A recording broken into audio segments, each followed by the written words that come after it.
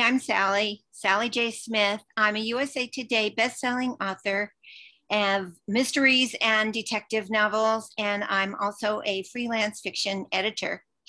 And today I want to talk to you about your driving habits. Wait a minute, you're going to say, Did I maneuver off the Sisters in Crime uh, YouTube channel? And I'm going to tell you, No, you didn't. the driving that I want to talk to you about is making a left turn.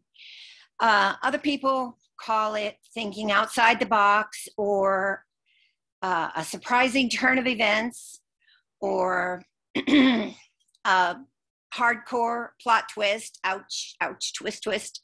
Uh, but what it turns out to actually be is that it's a way for you to surprise your readers and take them in a different direction to grab their interest and let be with them as you carry them along on a journey that to a destination they didn't even know that they were going to arrive at. Um, you want your readers to be awestruck at the brilliance of your plot twist or your left turn, yet you don't want them to feel manipulated or tricked by what you've done.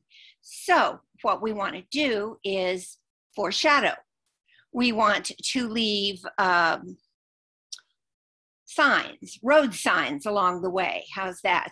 We'll leave road signs along the way, subtle clues, if you will, uh, that we're going to cover up partially with bushes and bus stops and things like that so that they don't see them out in broad daylight. And the bushes and the bus stops are going to be things like dialogue and backstory and tiny little things that once they've seen your plot twist, they're going to say, Oh, why didn't I see that coming all the time?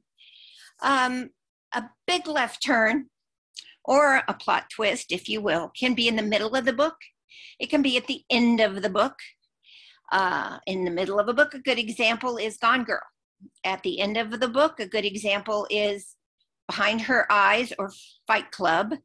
And there can also be multiple plot twists like in um, Midnight at the Bright Ideas bookstore. A left turn doesn't have to be major. It can be something as minor as a character difference. It can be a serial killer who had a normal, happy childhood, and his grisly devices come from something completely away from the four profile uh, serial killer typecast that we see in every novel.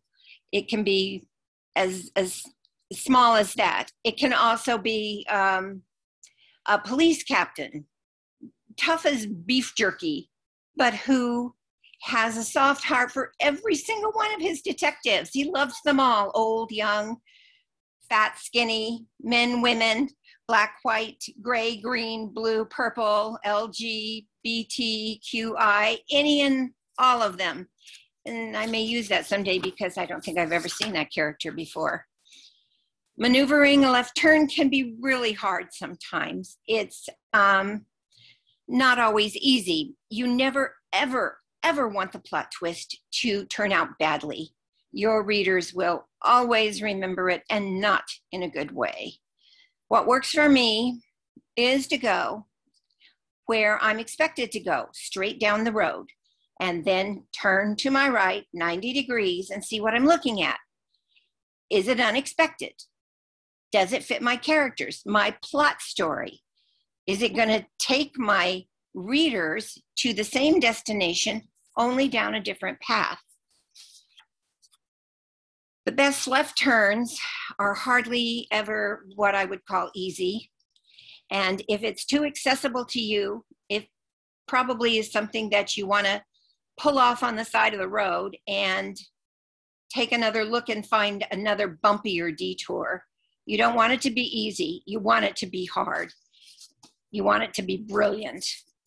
Take my word for it. This is the kind of thing that once you look back on it, when you're finished with your novel and you find the route that you've taken so well crafted, you're going to even wonder if you wrote it.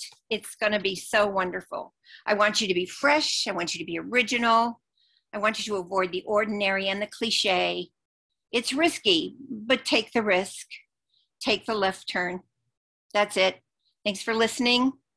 Take a look at Sisters in Crime, both national and local, and see what awesome things they can do for you. Ta ta for now.